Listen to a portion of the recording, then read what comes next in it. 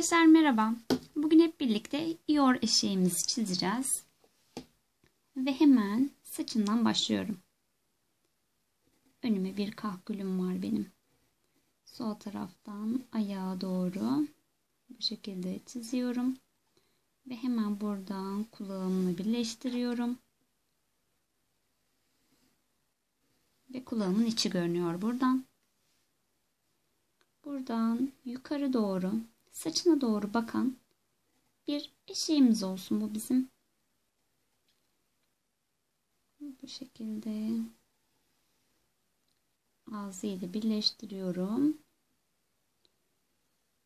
Çizimlerimizi yaparken arkadaşlar bu size bir püf nokta olacaktır. Bütün şeklinde çizmeliyiz. Buradan bir çizgim var benim. Şöyle. Yani ayrı ayrı çizmek yerine yukarı doğru bakan bir gözüm var. Evet. Ve buradan da yine aynı şekilde yukarı doğru bakan bir gözüm var.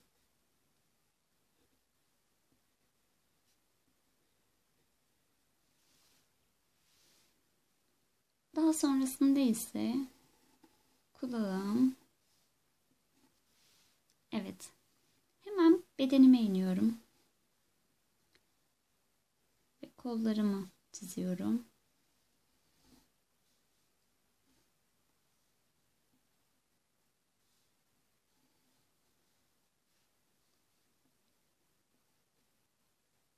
Ve diğer kolumu indiriyorum.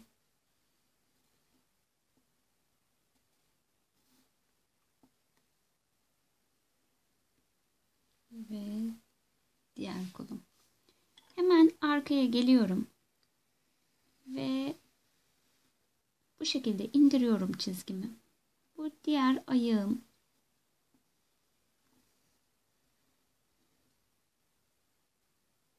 Hemen burada da bir çizgim var.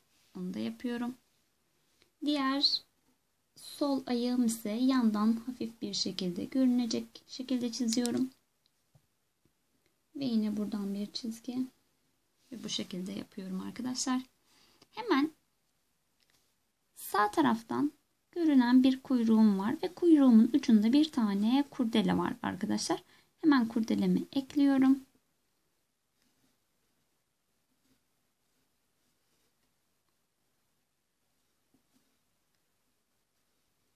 Evet bu şekilde yine saçım devam ediyor. Heh, saçıma gelmişken saçımı bu şekilde arkaya doğru indiriyorum arkadaşlar.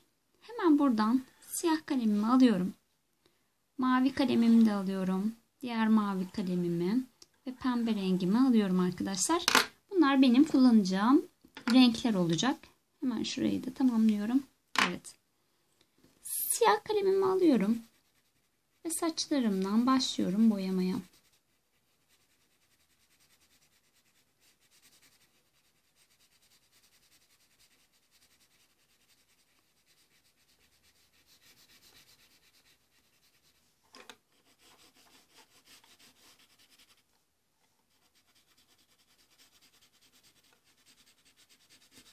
Evet, bu şekilde indiriyorum. Hemen kuyruğumu da aynı şekilde boyuyorum. Kuyruğumun ucundaki kısmı ama siyah. Onun dışındaki ellemiyorum. Tamamdır. Hemen pembeyi alıyorum elime. Pembe kalemle kulaklarımın içini pembeye boyuyorum. Biraz bastırabilirim. Çünkü bu alanım benim e, dar olduğu için dar alanlarda ya da küçük bölgelerde bastırarak boyandığında hatalarımız çok fazla gözükmez arkadaşlar. Ve hemen pembe ile yine aynı şekilde kurdelemi de boyuyorum. Kalemlerinizin uçları kötü olduğunda arkadaşlar e, açıcıyla açın. Çünkü ucu kötü olmuş bir boya kalemi e, çok güzel sonuçlar vermez size. Daha sonrasında ise mavi ile geri kalan yerlerimi boyuyorum. Yalnız dikkat etmemiz gereken şey eşeğimiz iki renkli olduğu için e, ona dikkat ediyoruz. Bu şekilde eksik olan yerlerimizi görmüş oluyoruz.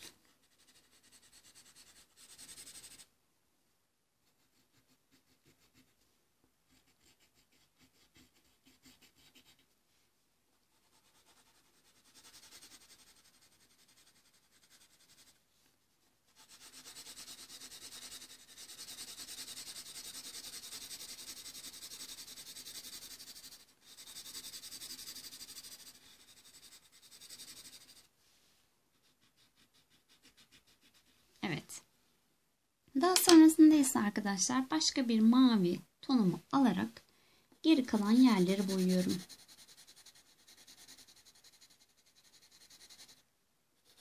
Bu iç kısmını da daha koyu bir mavi ile boyuyorum. Burayı da aynı şekilde boyuyorum.